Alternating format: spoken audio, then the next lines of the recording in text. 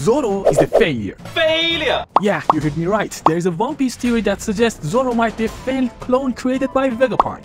There are several questionable aspects to Zoro's backstory. Despite being linked to Wano and Shimotsuki clan, his past isn't clearly defined. Additionally, his similarities to Ryuma are pretty conspicuous, almost as if they were one and the same.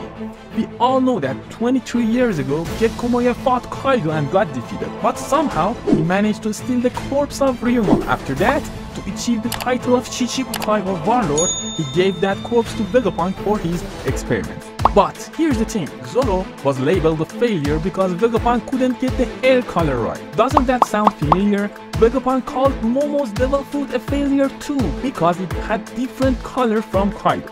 Actually, Ryuma's hair was blue, but Zoro ended up green instead. Anyway, it's somehow funny that both of Luffy's right and left hands are called failed scientific experiments.